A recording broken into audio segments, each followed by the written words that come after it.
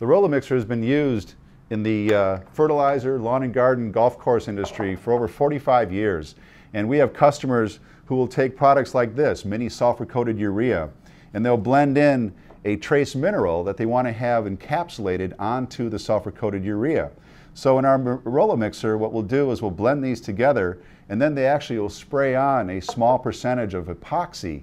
And by spraying the epoxy onto these two ingredients, they end up manufacturing this finished product where you can see the yellow sulfur-coated urea has been totally bound by the uh, mineral premix product.